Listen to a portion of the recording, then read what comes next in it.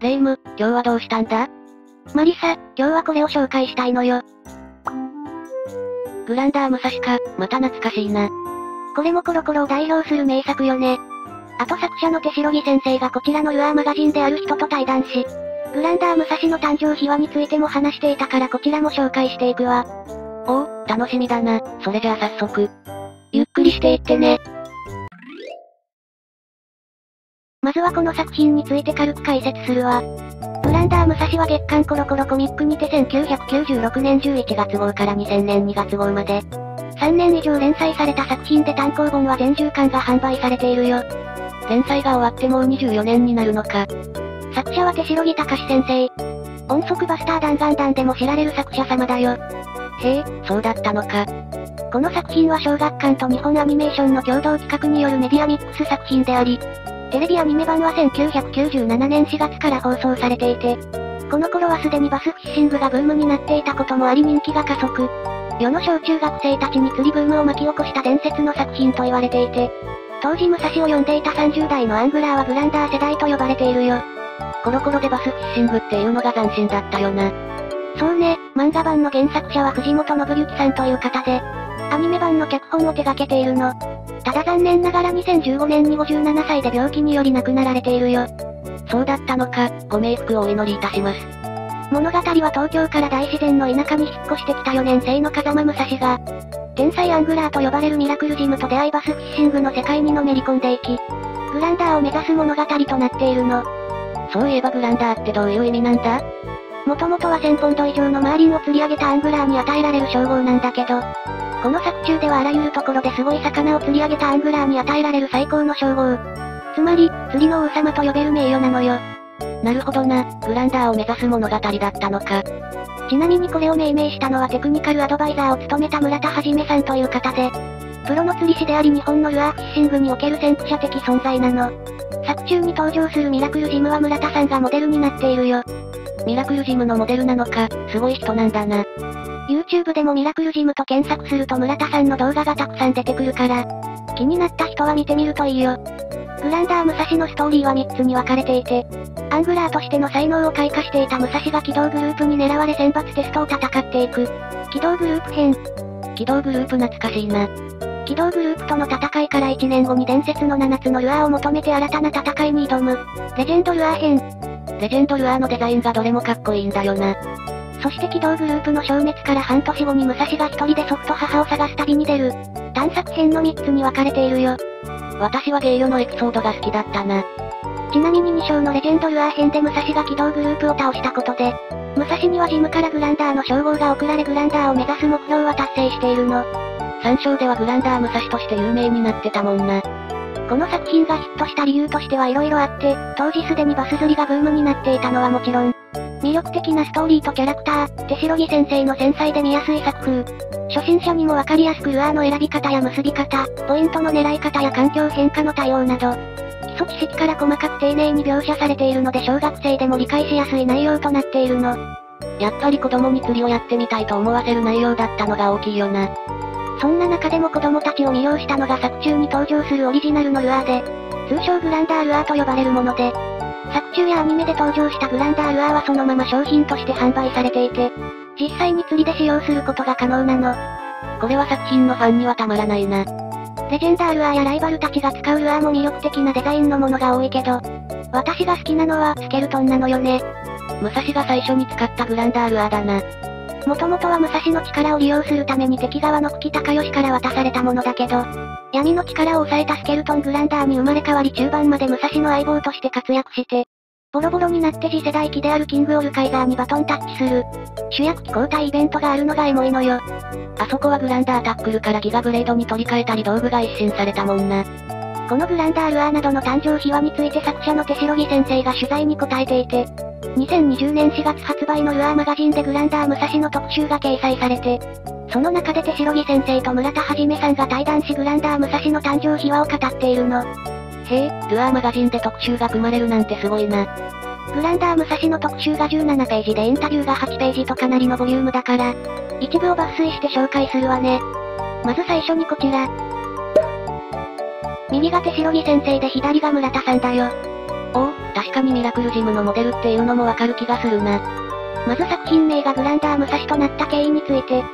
グランダーってのは本来1000ポンド以上のマーリンを釣った人だけに与えられる称号だけど、マーリンだけじゃなくてもいいんじゃないかと、例えば1メートルの鯉、70センチのバスとか、いろんな魚類のでかい魚にグランダーって栄冠を与えようって思いがあってね。それで、武蔵っていうのは僕の故郷の川崎市の給養生区分で、それだけなんだ。へえ、武蔵ってそんなとこから取られてたのか。手代木先生は最初、グランダーの意味も知らなかったと言っているよ。そしてグランダー武蔵が連載されるまでについて、これはとても面白い経緯となっているよ。一番最初はアニメから話が進んでいったんですよ。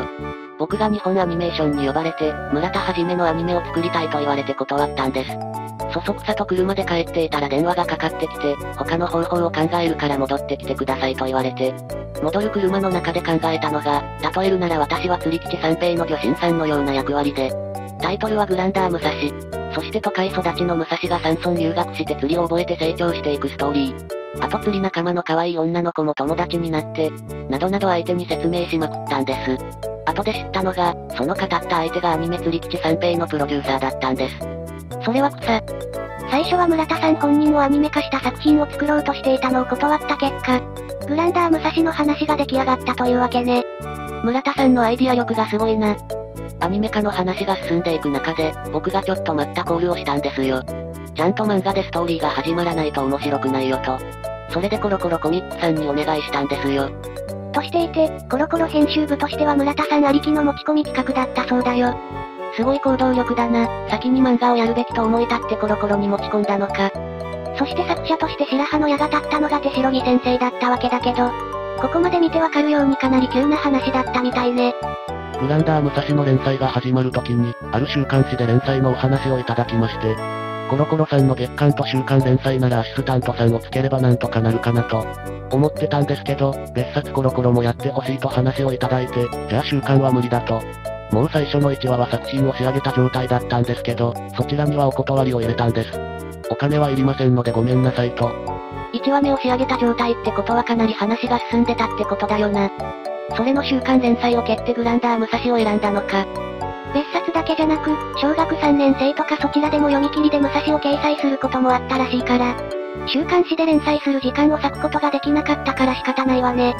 どんな作品だったか気になるな。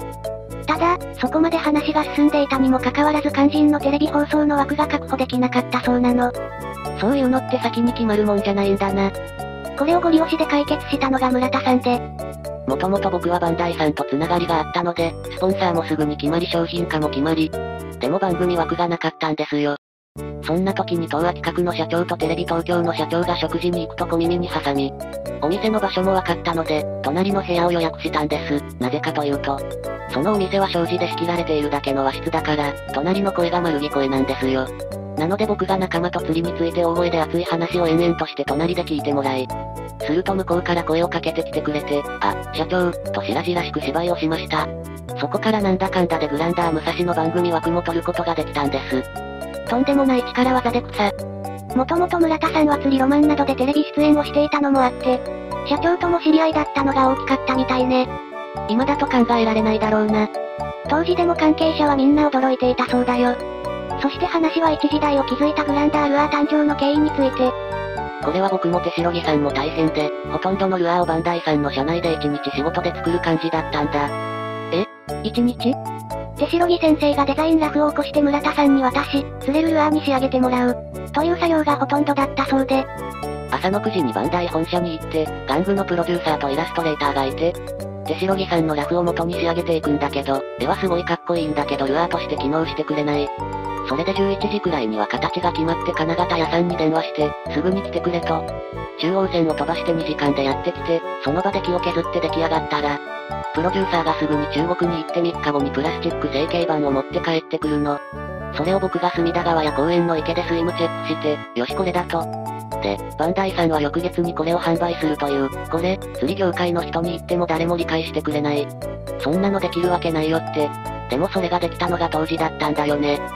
そんなハードスケジュールだったんですか？知らなかった。